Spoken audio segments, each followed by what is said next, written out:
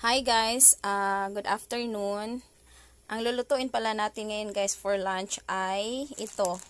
Instant noodles na chicken tapos uh, ano lang ba guys, uh, para-paraan lang kung ano lang ang meron. Ito we have, ang, ang ihalo natin dito sa ating instant noodles guys is uh, nag-fried ako ng pork and tsaka potato and we have here the cabbage. Ayan guys, ito yung lulutuin natin ngayon para sa tanghalian. Let's start cooking. Pakulo muna tayo ng tubig. Ayan na guys, kumulo na yung ating tubig. Unang ilunod natin yung ating pork at saka yung potato. Ayan.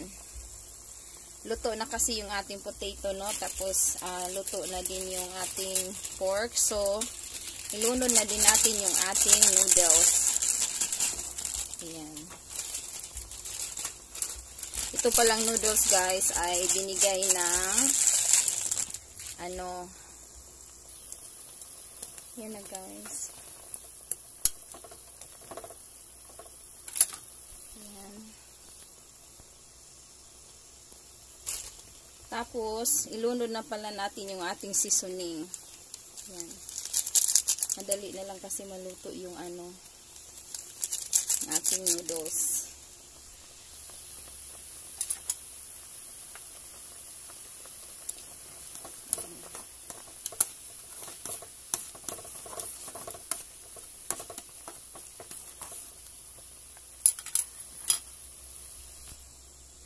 Tapos, lunod na din natin yung ating cabbage, guys. Ayan, cabbage.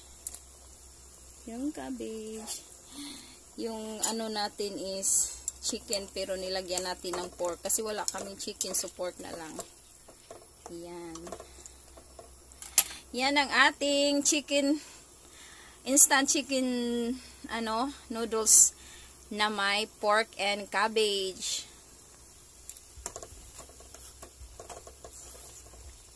Yan off na natin yung ating kalan guys. Yan luto na. Ready to serve